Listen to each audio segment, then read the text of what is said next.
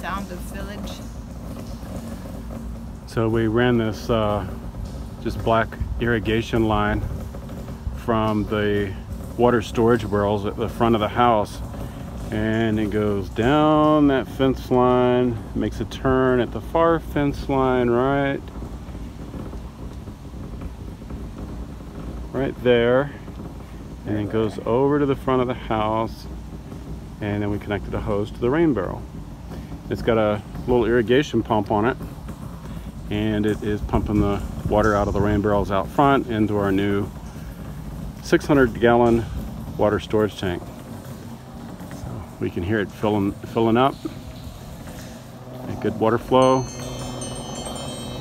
And that's a successful project.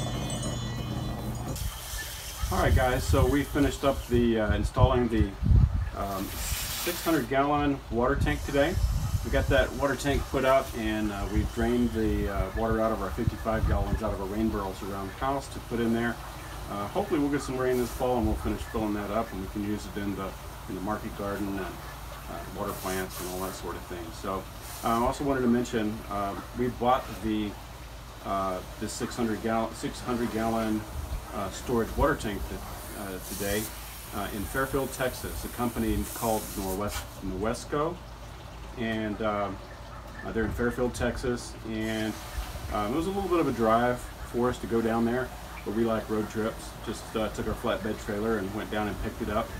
And roughly, um, the, you know, the cost of buying one here locally from a from a big box store probably saved us about a hundred dollars. So uh, I think it was a trip well spent, time spent with the with uh, wife and I together, and a good project for Saturday. So I hope you guys uh, if you're interested in, in collecting rainwater um, for your own use, then uh, that's a great way to do it, and uh, I highly recommend those storage tanks. They're uh, not hard to install, and we um, did elevate ours um, that way that it will get a little bit more water pressure out of it for uh, so we won't have to use pumps or anything like that for our irrigation.